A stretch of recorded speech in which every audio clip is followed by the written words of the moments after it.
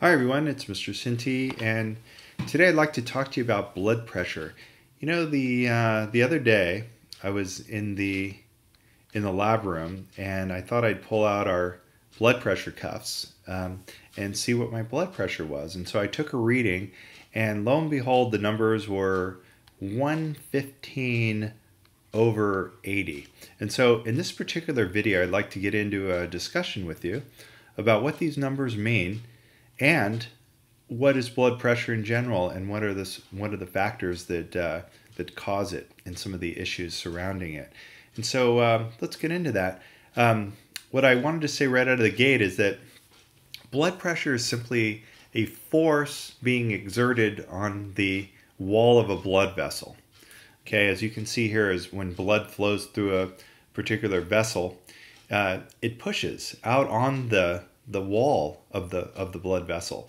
And when I say it, I'm meaning like the plasma, the liquid, uh, the cells, and all of that is is is uh, is creating a force, and that force against the wall of the blood vessel is causing um, the pressure. And so, if I were to try to draw like this, a, a typical vessel right here, and there's blood flowing in it, what I, what I'm trying to say is that blood is pushing out on the wall. Right there. That's what the blood is doing. It's pushing on the vessel wall.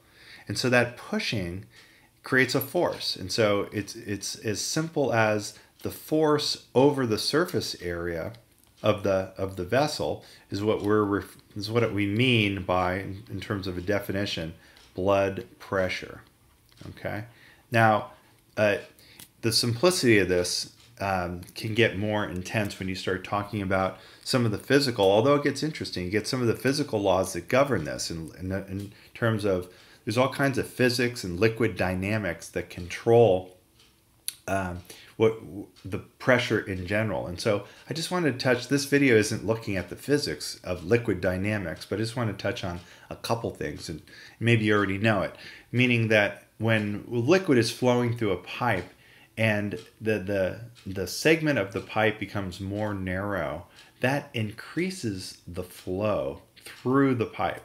And so that's a particularly important point because blood vessels will vary in diameter. And so this will affect velocity of the blood traveling through those vessels.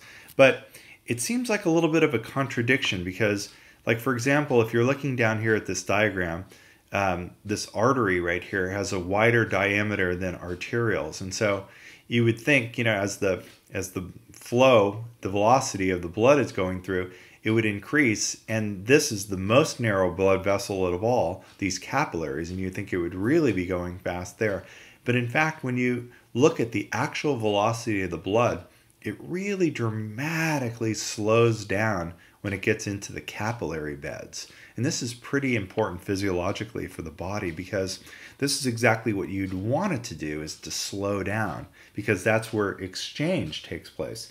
Gas exchange, both oxygen, carbon dioxide, hormones and nutrients and all of that osmosis diffusion is occurring here. But it's like, well, you just said that when it becomes more narrow, it's going to increase in velocity. But check this out that the total cross sectional area of all these capillaries makes this a wider vessel than it was in the arteriole. So, in fact, it slows down in the capillaries. And, that, so that's kind of cool. So, again, just to re- reiterate that point, it's like when blood is flowing pretty quickly through an arteriole and then it slows down in the capillary and then it increases again in the venule, as you can see here. And so that's pretty interesting. And I was mentioning that that is very conducive to exchange. And so when the blood is slowly moving cell by cell through the capillaries, that's where oxygen, carbon dioxide, and nutrients and hormones are exchanged. And so when the blood leaves the capillary bed and travels into a venule and then a vein and heading back toward the heart, it's increasing uh, because there's a little bit of a reduction in the surface area of those vessels compared to the capillary bed. And so I just wanted to define something like pulse as well, because this is important in terms of pressure. Um, you all know it. You know that pulse is basically an indirect way to look at heartbeat.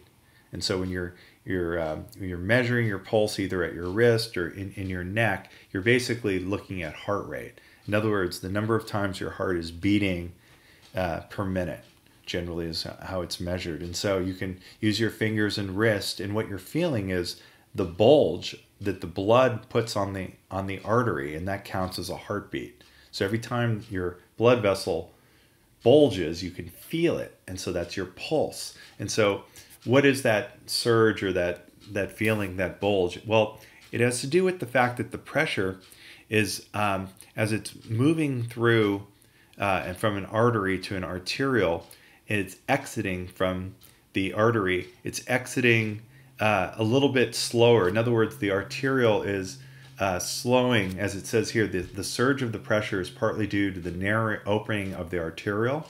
And so it's impeding the exit of blood from the artery. So when the blood's coming in, it slows down and it causes the vessel to sort of expand a little, the arteriole. And so basically, when the heart is contracting, each time it contracts, it enters uh, this vessel and it stretches and therefore causes a little bit of a bulge, and you can measure that as a heartbeat. And so basically, that's what, what the pulse is.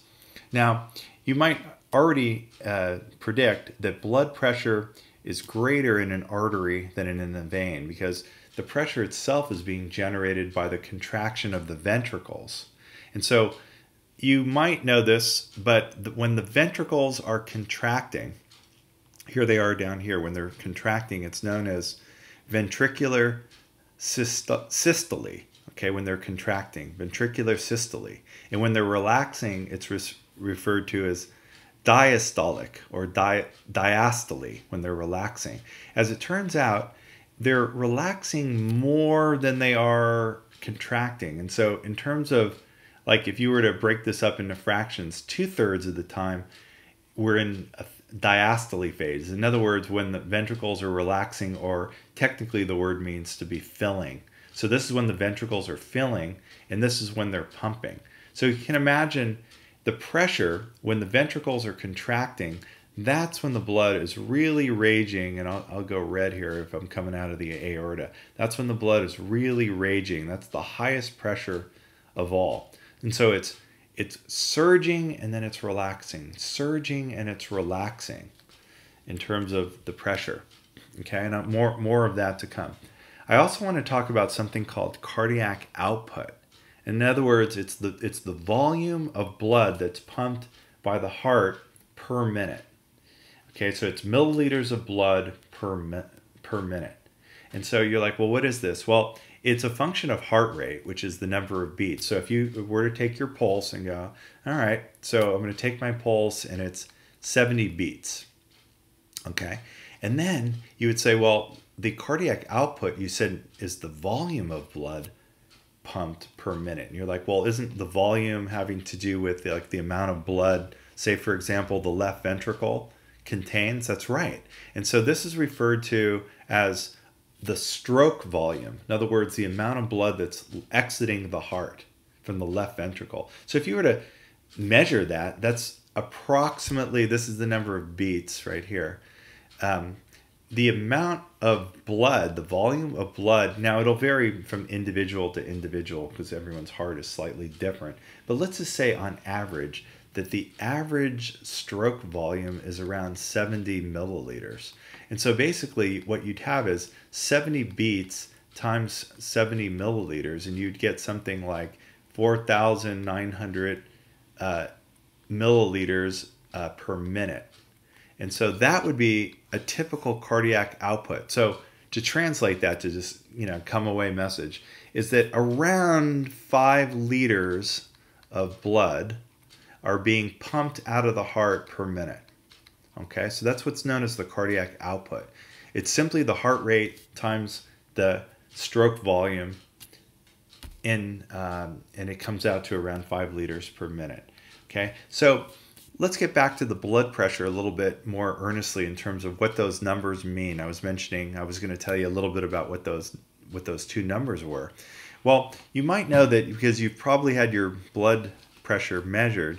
It's measured with a device called, and this is a mouthful, sphygmomanometer. In other words, a device or a blood pressure cuff that surrounds or wraps around your arm.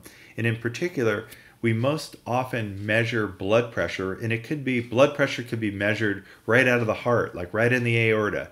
But it but it's most often about 95% of the time it's measured right here in the upper arm. And in the arm, there's a blood vessel, an artery called the brachial artery, in which we can easily measure. So it's right here, the brachial artery.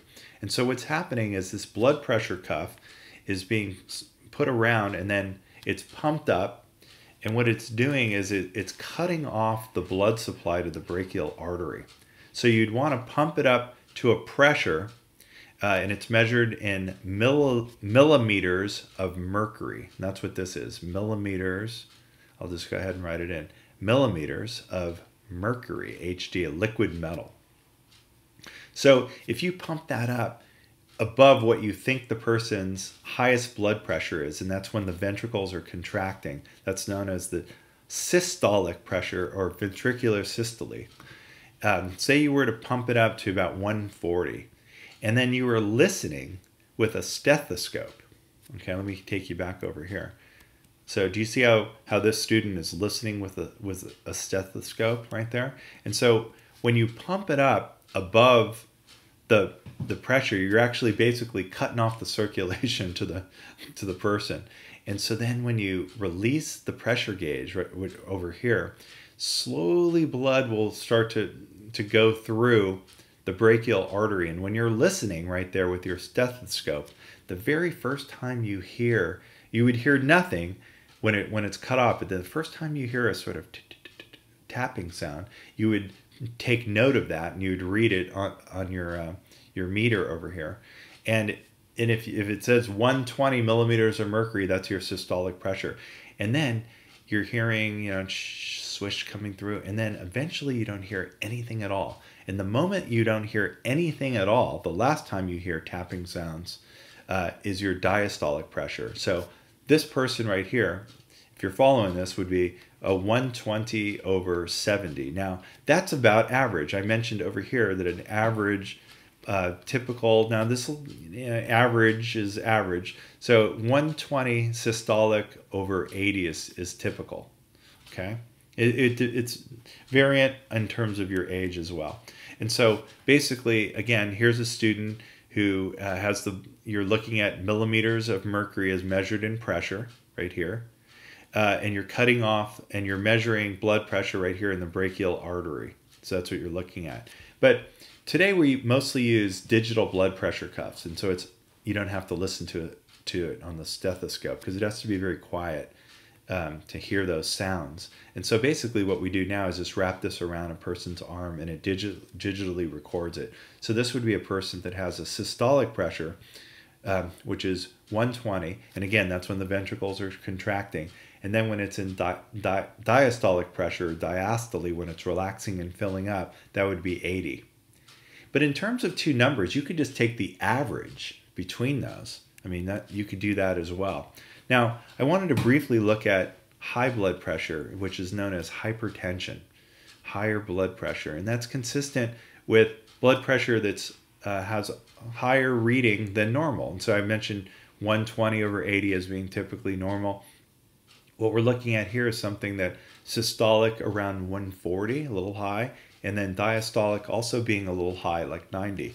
And so there's different websites and charts uh, that you can look at, and I thought I'd show you this one. So I was mentioning normals around 120 over over 80, or it could be less than 120 It could be 110 over 70. That it's all within normal range. Anything less than this. But when you start getting numbers higher than 120 over 80, you could be sort of pre-hypertensive or hypertensive stage one or hypertensive stage two if it's getting up really high, like 160 over 100, uh, or anything higher than that. You'd you'd want to seek medical attention immediately. And so I wanted to mention also that blood pressure is determined by this cardiac output. In other words, the volume of blood coming from the heart uh, is going to create pressure differential. So in other words, um, the number of beats, uh, the vigor, the, the volume of blood is going to influence the pressure. Okay, so it's like turning on a hose. If you increase the volume of water, it's going to increase the pressure.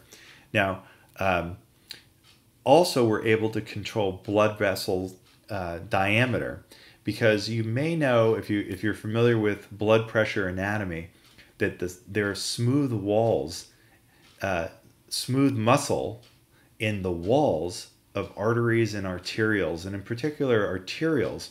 And when the smooth muscle contracts, that constricts the vessel, which increases the peripheral resistance on the blood, and that increases the blood pressure. Likewise, though, if you relax those smooth muscle fibers in the blood vessel, you're going to increase the diameter and dilate the vessel, and therefore lower the pressure, and uh, it and it and it falls. Uh, you might also know that stress is involved in this, and what I mean stress is a is a complicated thing, but it nerve impulses. So in other words, the brain can control blood blood pressure. Hormones can control it. Hormones can even regulate the volume of the blood. Separate video, just saying. Um, the, the kidney is important in that. And so when these signals, however, reach the uh, muscle layer of the arteriole, they can help to uh, raise blood pressure. And uh, that will cause blood vessels to uh, constrict or it can cause them to relax depending on what you need. Okay, and so exercise, as you know, will influence blood pressure, or maybe you didn't know it. And so your cardiac output is adjusted in concert with resistance in order to provide the appropriate blood pressure. So it's coordinated to provide the adequate and necessary flow uh, depending on the demand that the circulatory system needs. And so, for example, in heavy exercise, it seems like this bike rider right here in this photograph is dominating here, uh, riding his bike up this really steep area here around uh, Lake Tahoe, California. Um, when a person's exercising this heavy, what's happening is uh, the arterioles that are working, the muscles will dilate around those arterioles, which will uh, admit a greater flow uh, into the area and therefore uh, decreasing peripheral resistance. Okay, and so likewise, though, uh, when the cardiac output increases, in other words, the heart is is pumping really fast, that can support the uh, the need for increased pressure and therefore cause uh, a rise in blood pressure. And so it depends. And so you could slow pressure down, you could increase pressure depending on, on the need. And then finally, gravity I find to be a particularly interesting one. So when a person's standing, uh, obviously the heart uh, needs to work a little harder, and additional pressure is needed uh, to push the blood in the into the upper extremities of the body if you're if you're if you're standing up as opposed to lying down. And so uh, the calculations on this is that it's about a 25, 27 millimeter of mercury increase to move the heart to the brain while standing. You're like, well, it must be really difficult for a giraffe if you ever think about things like this, because I mean, the head's up pretty high, much higher than the heart. So it really has to work. How about this? 250 millimeters of mercury pressure in order to get that uh, blood to the brain of a giraffe. And so it's pretty intense. So this is a nice uh, diagram to sort of finish my thoughts on blood pressure. And so um, the, when the heart is, is systolic, when the ventricles are contracting, here's diastolic, or else you could just look at the average. And so the we're basically looking at like 120 over 80, especially where we're measuring it typically right in here at the brachial artery. So it's like, you know, 110 over 80, uh, 120 over 80. That's where we're getting those two numbers right there systolic and diastolic. Although when you take the average, it's not just those two numbers because if you remember, the, the heart is mostly in, in filling than it is contracting. And then eventually the blood pressure would go down. So if you're taking the average and it's like 95 over here, and then over here it, it could be really low. Let's say it's around 30, and then over here it's around 20. And then when it enters into the vena cava, it's hardly under any pressure or influence from the heart at all. So we're looking at around five millimeters of mercury as it enters into the right uh, atrium of the heart. Okay, so hopefully you enjoyed that brief look at blood pressure, and I hope you uh, you learned something and enjoyed it. Thanks for watching.